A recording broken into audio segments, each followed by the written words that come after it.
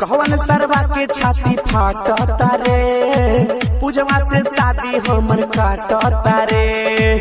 अगुआ के साथे जाके घरे ऊपर माई बाबू के काहे डा कहवन